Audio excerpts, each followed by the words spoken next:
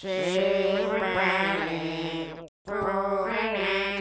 now, quest, quest, my friend, quest, quest.